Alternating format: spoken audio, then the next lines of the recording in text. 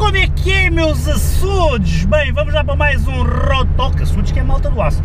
E o comentário que ganhou com mais likes e com mais respostas, hoje tenho aqui uma cábula, foi o do Mário Pinto. Obrigado pelo teu comentário, por participares deste tema. Uh, e ele diz, Yuri, como amante de carros que és, carros antigos, sou sim senhora, e apreciador de ondas, também, qual é a tua opinião sobre o Honda E? Vias-te com um carro desses no dia-a-dia? -dia? O que achas do design da marca? Uh, no que achas da evolução da marca e do design do carro em si? Obrigadão! Ora, eu do Honda E não posso dar assim muitas opiniões porque nunca conduzi nenhum. Acho o carro esteticamente atrativo, porque o carro foi desenhado para aquilo, para ser um carro pequeno, um carro citadino, um carro prático, um carro uh, que andas por pouco dinheiro, que é a pilhas, não é?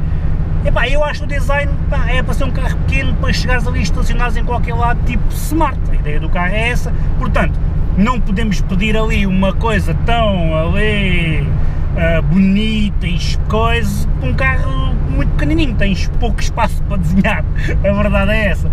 Mas eu até curto do, do carro, acho o design do carro porreirito, eu acho o carro porreirito.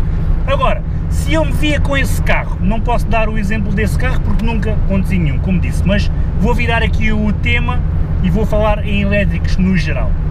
Se eu me via com um carro elétrico completamente Aí agora os petrolheads caem todos em cima. Mas sim, malta, via-me completamente. Aliás, eu ando até a ver se compro um Golf GTE.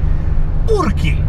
Pá, vai muito pelo custo-benefício que o carro tem. Por exemplo, o Honda, um, o Golf GTE, faz à volta de 30, 40, 50 km com muito cuidado, faz 50, menos cuidado faz ali 30, entre os 30 e os 40, mas vá lá, faça 40, eu acho que o carro faz 40. Uh, por exemplo, a minha mulher faz 30 km por dia, ou seja, ela acabava por andar o mês inteiro, casa-trabalho, trabalho-casa, sempre a pilhas. Depois, é a praticidade, a gente acaba por ter a bomba de gasolina em casa, não é? Carregamos em casa. Se andas sempre elétrico, é, é fácil, chegas a casa, depois é carregado, o dia está carregado e o carro torna-se muito prático. E depois é o custo, também tens custos, a eletricidade epá, pouco o carro vai gastar de eletricidade, fica-te mais barato do que se andares a combustível. Agora, falando em mim, se eu me via, eu próprio, neste caso eu estou a dar o exemplo do Golf GTE para a minha mulher, se eu me via com um carro 100% elétrico, eu via, porquê? Porque eu tenho a possibilidade de carregar em casa. E eu acho que, não, não, não achando que a eletricidade vai ser, já achei que ia ser o futuro, presentemente não acho, mas vai ser grande parte do futuro dos carros, vai ser o elétrico.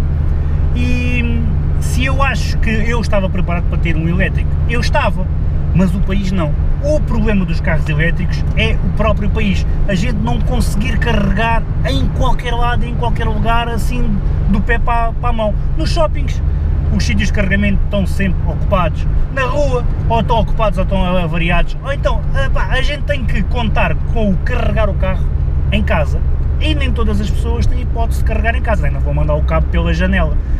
E agora uma coisa que me disseram quando eu andei as primeiras vezes com os Teslas, a malta que tinha já, dizia-me assim, pá, tu ao primeiro impacto vais achar estranho, mas depois os, os outros carros nos semáforos até te vão incomodar porque o teu silêncio é tal que os outros carros acabam por ser incomodativos. E não é que têm razão.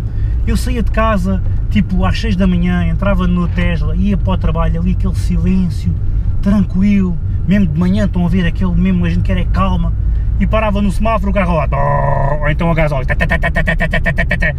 pá, efetivamente, pá, gosto do carro elétrico, pela sua praticidade, eu gosto de dizer assim, nada, Yuri, mas um carro andares a curtir, nunca na vida, independentemente daquilo ter uma grande padrada a sair e ser do 0 aos 200 uma, um elástico, é pá, não, não tem barulho, não tem rotação, não tem papapá, não, não, não, não, para, isso não.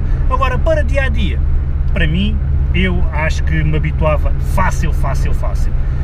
Agora, o que eu me referi em termos do, do país em si, imaginem vocês, estão aí para o Algarve estão mesmo quase a chegar ao Algarve, com um Tesla para fazer essas viagens, com o range é muito bom, mas estão a chegar ao Algarve, já têm ali autonomia se calhar para 100 km, 50, mas estão naquela, pá, quando eu chegar ao hotel carrego, está tranquilo, está favorável.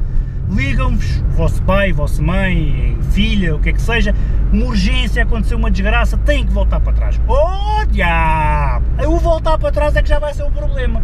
porque já tem contato com a carga e depois não há carga ali, depois está ocupado e depois está variado. Epá, assim já me custa a crer porque o país não está preparado para ter carros elétricos. Temos países que estão, eu acho que Portugal não está.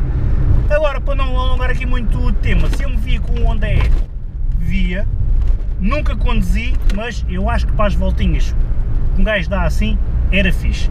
Se preferia um Tesla, claro que preferia, porque o range que aquilo tem é top e vá que não faça 500 km, mas que faça 350. É pá, com 350 km temos muita margem para o nosso dia a dia.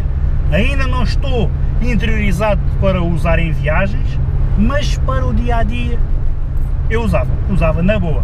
Voltando mais uma vez aonde é, obrigado pelo teu comentário, nunca conduzi nenhum, nunca andei nenhum, acho o carro, eu acho que o carro é top para o efeito que o carro uh, foi feito, não é? Para, para, o seu dia a dia, económico, é pilhas, prático, é pequeno, eu acho esteticamente é agradável, está futurista, está, está moderno. Quanto à evolução da marca, tu também me perguntaste, pá, as marcas não evoluem para aquilo que querem, entre aspas.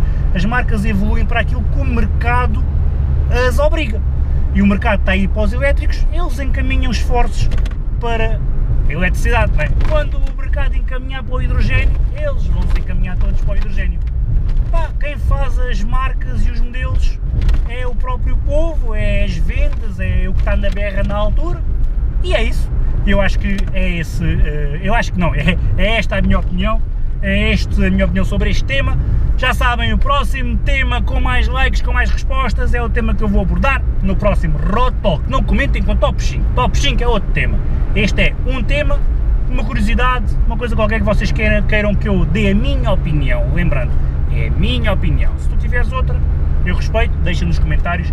Esta é a minha. Bem, fiquem bem, um grande abraço. E um grande gás. G40 podemos dar gás! Tchau pessoal!